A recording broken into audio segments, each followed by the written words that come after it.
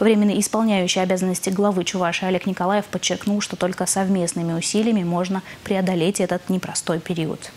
Вчера президент выступил с обращением ко всем нам. Он анонсировал широкий перечень мер, направленных на ограничение распространения эпидемии. В основном эти меры ограничительные, но необходимые.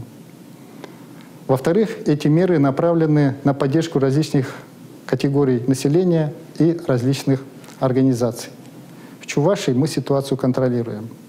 Все органы власти и учреждения работают в режиме повышенной готовности.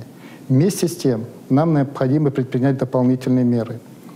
В связи с этим убедительно прошу жителей старше 60 лет не покидать свои дома без острой необходимости.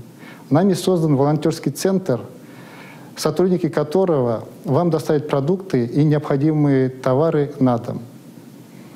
Кроме того, настоятельно рекомендуем прекратить работу организациям с массовым накоплением людей. Это прежде всего кинотеатры, ночные клубы, оздоровительные и культурные учреждения – Уверен, что вместе мы пройдем этот сложный период.